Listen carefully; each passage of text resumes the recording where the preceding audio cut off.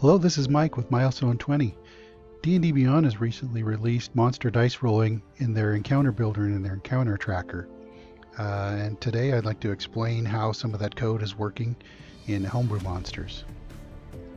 So we're going to take a look at rolling the dice rolling from a monster stats.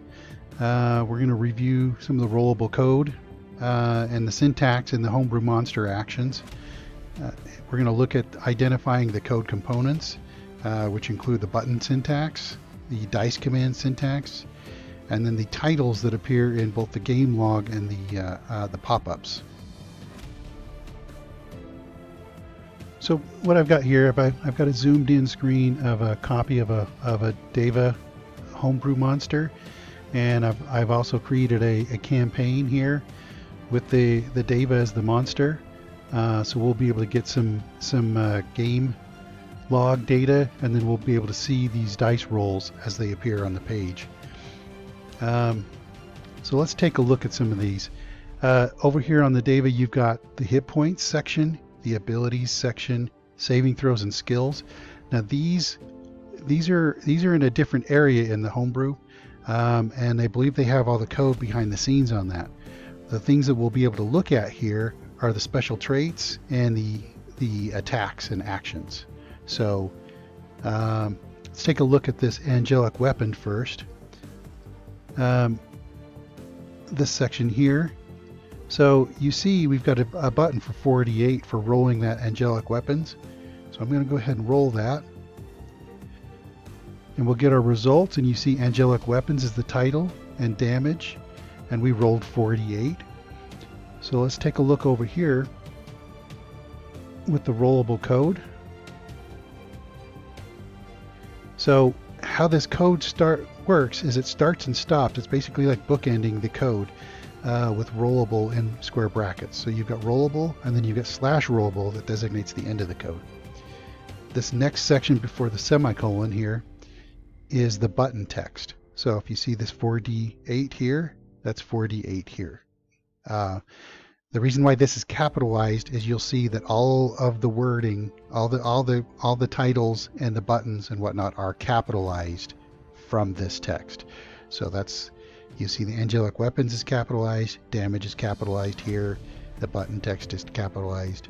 So all of that stuff is going to be capitalized uh, in in in a display here. Um, but you do see when it rolled 4d8 down here this is the code after the dice notation section here. This is the code that starts telling it how what, what it's going to roll. So the buttons or the, the dice that it's rolling is 4d8. So that's different from the button text. That's actually this down here. That's saying how many dice to roll. How many, how, what, what dice are you going to roll? And it was 4d8. So this roll type section here that shows damage that's this section here that shows damage. The roll action, angelic weapons. That's this section up here, the the the the, the pre-title here, the pre the preface of the title here, and the suffix of the title is is is the roll type, which was damage. Um, there is an extra section here, this roll damage type for radiant, and as you can see, that doesn't show up anywhere. That's that's something that uh, likely is D&D Beyond is is is preparing to use in some other means. But for right now, as we go through, we'll we'll we'll not worry about the roll damage type. So let's go ahead and get into some of the actions here. So we'll use the mace, and again we've got the rollable code right section right here. Uh, it starts with rollable. We've got a plus eight, which is the button text over here. We've got the dice notation section here, which starts to tell you what dice to roll. And so we're going to do 1d20 plus 8. So it's going to roll a d20 and add 8 to it. The roll type, which is the suffix, will be roll action, and the roll, the sorry, the roll type to hit is is the suffix, and the roll action is the is the preface of the title. so if we go ahead and roll this plus 8, oh, natural 20. Awesome. Uh, so we've got the mace and which is the roll action, and then we've got the roll type is to hit. And of course, that 1d20 plus 8, we've got it here, the 1d20 plus 8. So we rolled a d20 and added 8 to it. Uh, so now if we get into the next section, which is the d6 plus 4. Now, even though this is a crit, I'm going to roll it as regular. Um, so 1d6 plus 4. That's that's this section. Sorry. Right here. So rollable starts with rollable. We've got the 1d6 plus 4 in parentheses, just as the button has. And now we get into the dice notation, and it has 1d6 plus 4. So that's telling you it's going to roll a d6 and add 4. So we'll go ahead and do that. so we rolled a 2 plus 4. Now you see the, the, the title is Mace Damage. So if we look into that, we've got the suffix here is damage, which is roll type, and the roll action is the preface here.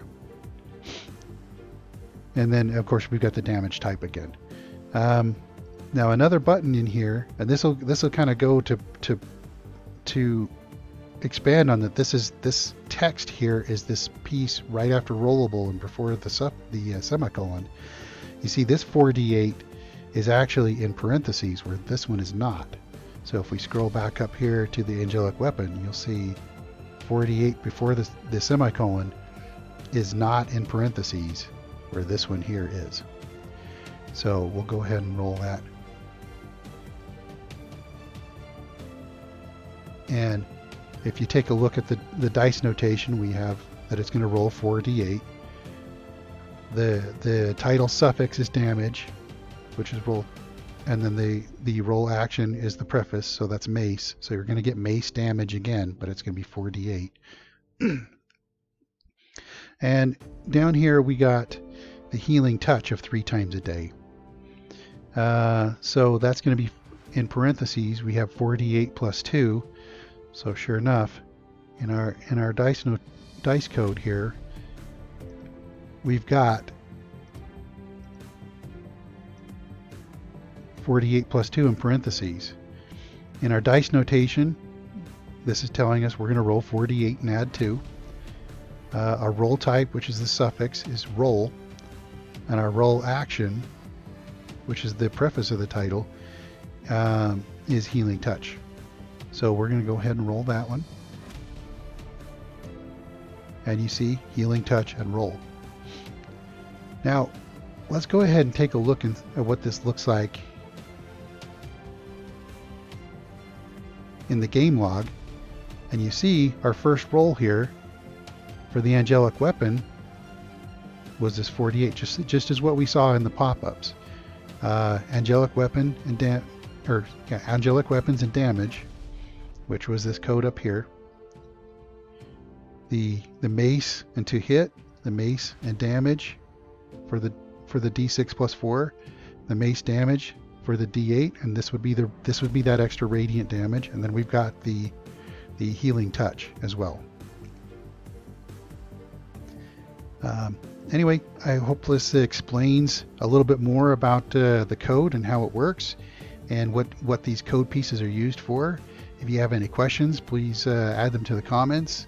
Um, if you if you like this video, please please like and uh, uh give me a like. And then uh, I plan on doing more of these types of videos in the future. So uh, if you if you enjoy this type of content and explaining, you know how how Homebrew Roots works. Uh, I plan to get into Avrae a little bit.